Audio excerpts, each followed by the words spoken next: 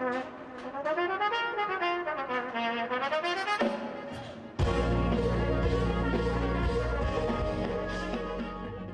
جرب آه، آه، استفيد من هالفرصة اللي عندي إياها هون بلبنان ببعلبك اللي هو من يعني أحلى مكان لحفلة مثل اللي بدنا نعملها.